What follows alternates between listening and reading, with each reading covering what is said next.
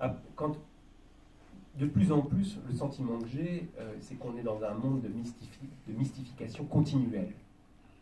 Euh, la société de l'information, finalement, elle n'a pas tenu ses promesses. Elle nous informe assez peu sur le monde en réalité.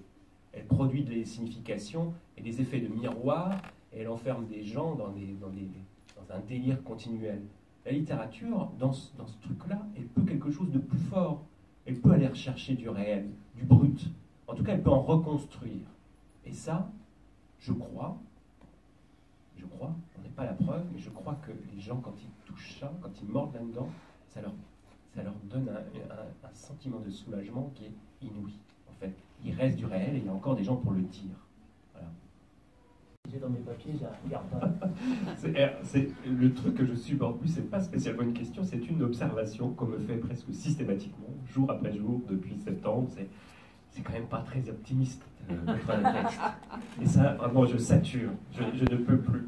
Euh, moi, je viens du roman noir où la noirceur euh, est conçue comme consubstantielle du récit, quoi. Il n'y a pas de problème avec ça. Évidemment, on va montrer des choses qui sont hardcore et tout le monde l'accepte, quoi.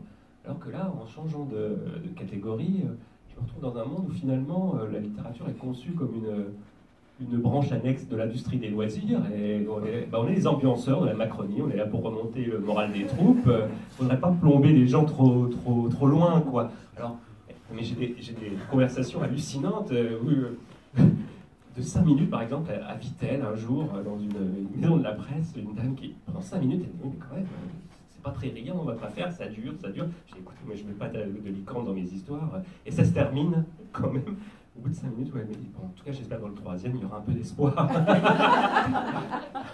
c'est des choses que c'est des choses que je ne peux plus entendre. Un contenu politique, il fasse unanimité chez tout le monde, c'est bizarre, quoi. Et à la fin des fins, l'hypothèse que moi je nourris, c'est que, effectivement, parce qu'il il fait, il fait l'effort d'essayer de se coltiner du réel. Je sais bien que ça n'existe pas en tant que tel, le réel, que c'est toujours reconstruit cette affaire-là. Et que c'est moi, moi qui bidouillais ça.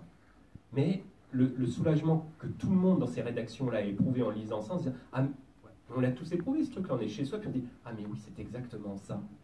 Eh, et ben voilà, ça, la littérature peut ça très fort.